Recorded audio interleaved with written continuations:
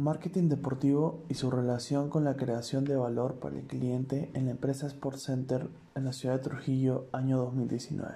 Actualmente, la cantidad de tiendas deportivas en la ciudad de Trujillo ha aumentado considerablemente, lo cual ha generado un incremento de la competitividad del mercado. Esto incluye no solo a tiendas físicas, sino también tiendas virtuales, las cuales representan una nueva amenaza. Sin embargo, principalmente en Sudamérica, la mayoría de consumidores prefiere todavía ir a la tienda física, tocar el producto, verlo directamente para asegurarse que cumpla sus expectativas. Es ahí en donde radica la importancia de poder emplear estrategias de marketing deportivo, las cuales buscan hacerle frente a aquellas amenazas y poder llegar a crear valor en los clientes. Sport Center ha logrado posicionarse como una de las tiendas deportivas con mayor reconocimiento en la ciudad de Trujillo, debido a la, versatilidad debido a la versatilidad de productos que ofrece y encontrándose a la vanguardia del mercado, siguiendo las necesidades de sus clientes. Sin embargo, esto no ha sido suficiente para que la organización pueda mantener un alto índice de ventas, debido a que en los últimos años grandes marcas han abierto sus tiendas retail en la ciudad, tales como Nike y Adidas. Algunas de las empresas internacionales más reconocidas hacen uso de diferentes estrategias de marketing deportivo para crear valor en sus clientes. Una de las principales es fichar a deportistas de alto nivel alrededor del mundo y diferentes disciplinas, ya que estos representan una gran imagen para ellos y los productos que venden. De esta manera buscan captar y fidelizar nuevos clientes. Se realizaron diferentes estudios para comprender la importancia del marketing deportivo y su relación en la creación de valor para los clientes. Chávez en 2018 determinó que existe una relación entre el marketing deportivo y las preferencias de las personas que concurren a las tiendas deportivas en centros comerciales. Y últimamente los influencers que tienen un impacto directo en la decisión de compra del cliente. Por otra parte, Martello, en 2011, expresó que las capacidades de orientación de mercado y conocimiento del cliente son las más relevantes para poder crear valor en la empresa, ya que el valor generado por una empresa es valorado por el cliente, y es este quien decide si aumenta o no el valor. De la misma manera, Avant en 2018 en su investigación expresa que los componentes emocionales para los clientes permiten mantener una relación a través del tiempo, ya que se conocen los gustos y preferencias del cliente tratándolo como único. Como principales bases teóricas tenemos marketing deportivo y creación de valor para los clientes. Lovelock en 2018 define el marketing deportivo como la promoción de eventos deportivos, clubes, indumentarias y todo relacionado al deporte. Una rama que gracias a los nuevos hábitos que adquieren las nuevas generaciones se va extendiendo cada vez más. Creación de valor.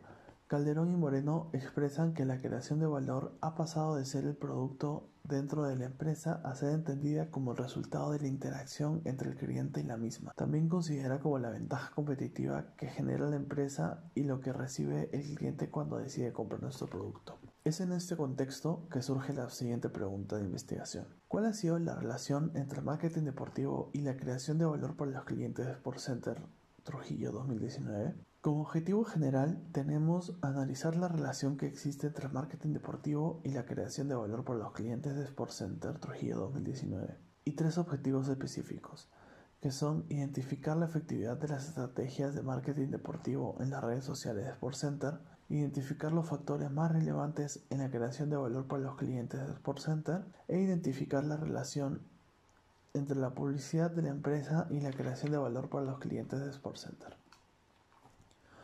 Para la realización de esta investigación se llevó a cabo un diseño metodológico cuantitativo no experimental, pues no se busca manipular ninguna variable. Es correlacional dado que en el desarrollo de la investigación se busca la relación entre ambas variables, y transversal debido a que la obtención de datos se realizó en un solo momento durante el desarrollo. La población de esta investigación está conformada por clientes de Sport Center, los cuales en promedio mensual son 1.254 con un muestreo probabilístico de 89 clientes mensuales.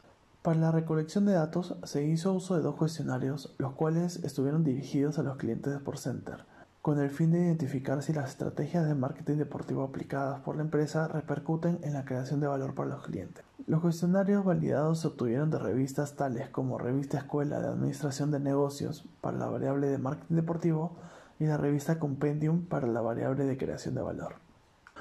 Como resultado obtenemos que la efectividad de las estrategias de marketing deportivo utilizadas por Sport Center son positivas para la empresa, pues los recursos utilizados influyen de manera directa en los clientes, motivándolos a realizar sus compras, siendo en la tabla 1 el 76.4% de los encuestados en donde predominan las recomendaciones realizadas por influencer, así como también en el incremento de la interacción en las redes sociales, ya que el 79.8% de los encuestados indicó en la tabla 3 que suele realizar visitas en las redes sociales de la empresa para poder acceder a descuentos o verificar los nuevos productos. Del mismo modo, se logró identificar tres factores relevantes en la creación de valor para los clientes de Sport Center.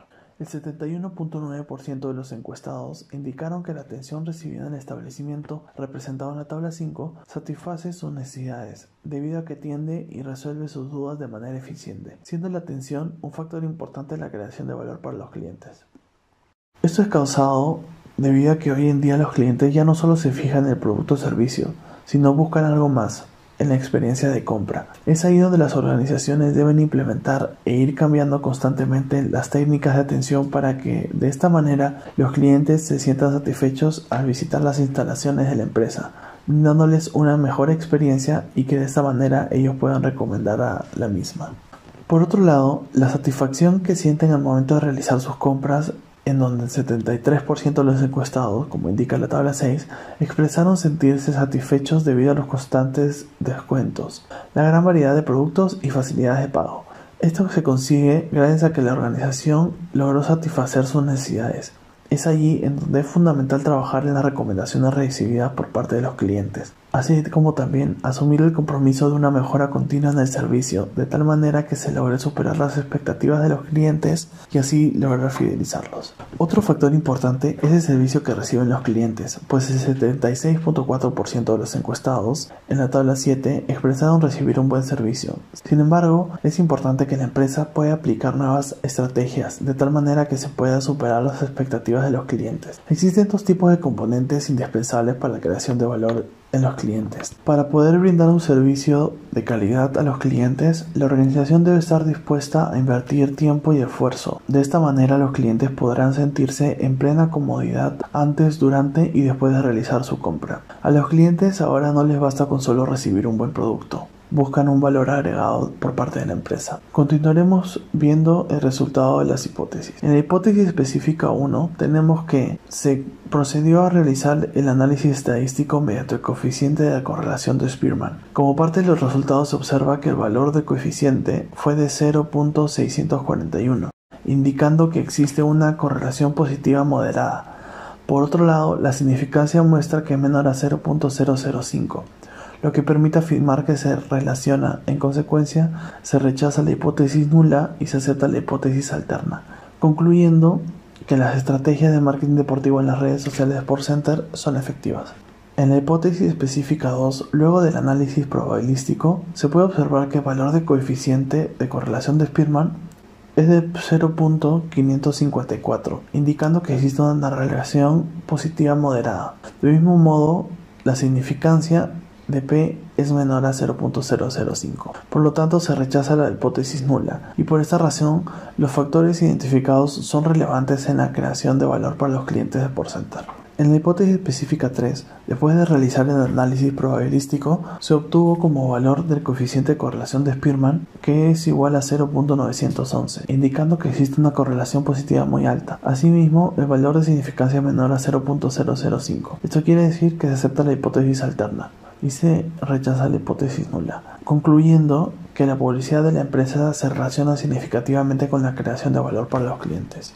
Y por último, en la hipótesis general, el valor de coeficiente de correlación de Spearman fue de 0.791. Eso quiere decir que existe una correlación positiva alta. Asimismo, el nivel de significancia fue menor a 0.005. Por lo tanto, permite afirmar que existe una relación entre ambas variables rechazando la hipótesis alterna y aceptando la hipótesis nula. Esto quiere decir que el marketing deportivo se relaciona significativamente con la creación de valor para los clientes de Sportcenter.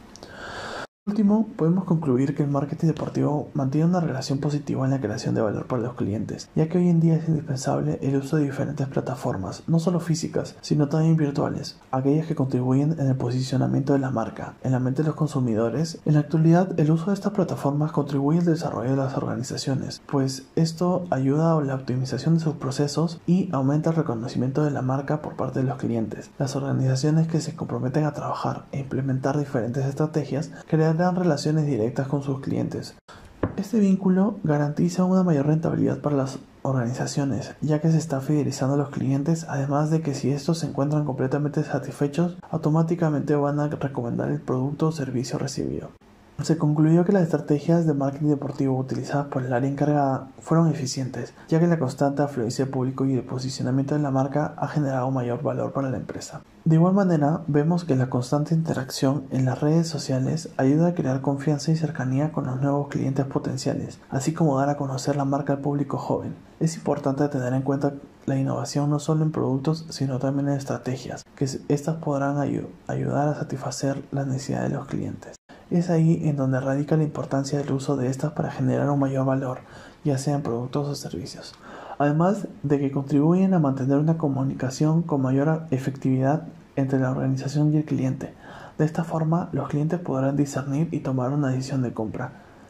Es por ello que es indispensable la constante interacción, ya que gracias al contenido que se publique, el cliente podrá realizar comparaciones con otros productos y así investigar cosas relacionadas con la empresa.